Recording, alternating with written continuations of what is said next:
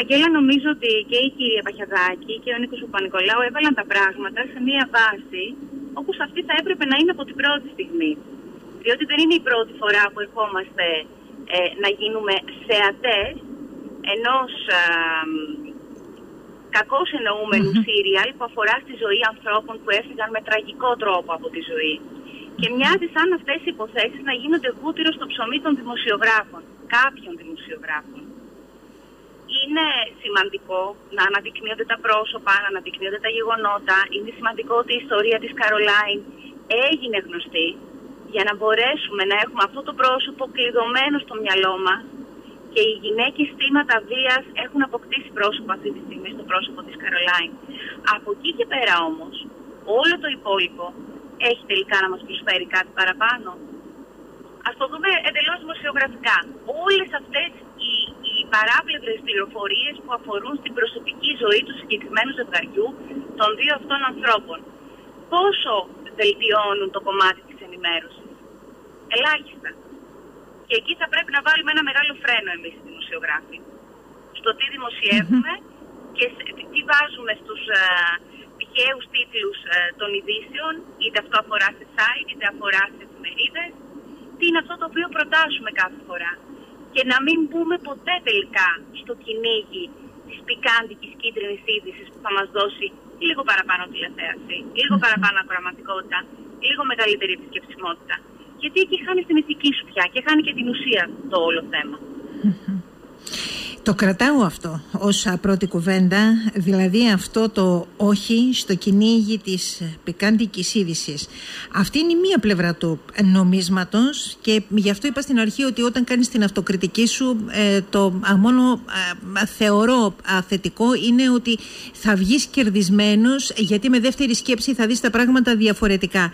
Από την άλλη ωστόσο σε βάζει σε εκείνη την άλλη τη διαδικασία και νομίζω ότι θα πρέπει να μας βάλει όλους σε εκείνη τη μεγάλη τη διαδικασία διαδικασία πραγματικά να ξεκλειδώσουμε τη συνείδησή μας είτε σαν γονείς είτε εμείς ως νεότεροι να δούμε πώς κινούνται τα πράγματα, πώς ορίζουμε εμείς την κοινωνία, πώς ποια είναι τα μηνύματα τα οποία περνάμε στα δικά μας τα παιδιά τι είναι αυτό το εύπλαστο το οποίο του δίνουμε του παιδιού μας ως τροφή; Για το θεαθήνε, για το φαίνεστε ενώ η ουσία είναι διαφορετική.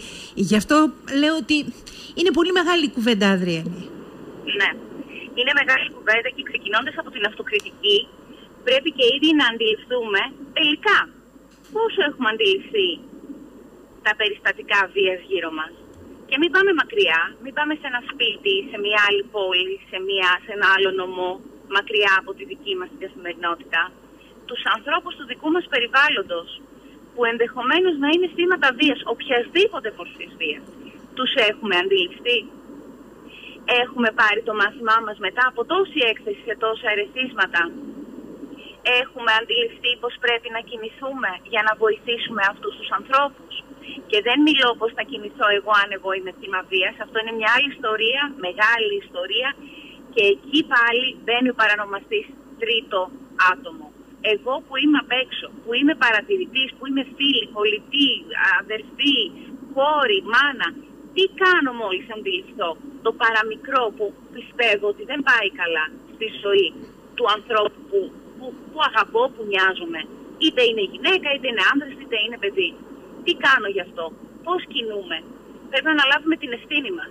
Πρέπει να έχουμε τα μάτια μας 14. Δεν μπορούμε απλά να καθόμαστε σαν παρατηρητές και να βλέπουμε μια ταινία τρόμου να εκτελήσεται μπροστά μας. Νομίζω ότι την ευθύνη μας πρώτα απ' όλα πρέπει να αναλάβουμε σε αυτό το κομμάτι, Αγγέλα. Συμφωνώ πολύ με αυτό το οποίο λες. Ο καθένας από εμάς και συνολικά ως οικογένειες να επαναπροσδιορίσουμε πράγματα και στη συνέχεια να προχωρήσουμε και να πάμε σε αυτό το οποίο σου ανέφερα πριν από λίγο και να δούμε και ποια είναι τα μηνύματα τα οποία περνάμε στα δικά μας τα παιδιά για το φαίνεσθε, για το θεαθήνε, για τη δική τους την ουσία της ζωής, για αυτό το οποίο θα πρέπει να έχουν, για αυτό το οποίο θα πρέπει να διεκδικούν, για αυτό το οποίο δικαιούνται αυτή είναι η δουλειά μας σε όλα τα επίπεδα, να μην γελιόμαστε. Αυτή είναι η δουλειά καθενός ενήλικα σε αυτό το πλανήτη, να, να αντιλαμβάνεται τις καταστάσεις και να βλέπει πώς μπορεί να δημιουργήσει ένα νέο έδαφος, ε, να βάλει πιο υγιείς και στέρεες βάσεις για τους επόμενους που ακολουθούν. Για τη δική μας γενιά είναι πολύ δύσκολα τα πράγματα πραγματικά και ουσιαστικά να αλλάξουν. Εδώ ερχόμαστε στο κομμάτι της κακοποίησης νομίζω να κάνουμε παρεμβάσεις περισσότερο σαν να παρέχουμε πρώτες βοήθειες ή να έχουμε να αντιμετωπίσουμε το ίδιο το περιστατικό. Χτίζουμε, οφείλουμε να χτίσουμε για τις επόμενες γενιές. Τα παιδιά μας να αντιλαμβάνονται πολύ διαφορετικά τη σχέση τους με τον εαυτό τους και τη σχέση τους με τους άλλους ανθρώπους. Αυτό δεν είναι στη θεωρία, είναι στην πράξη και είναι μικρά, μικρά, μικρά πράγματα.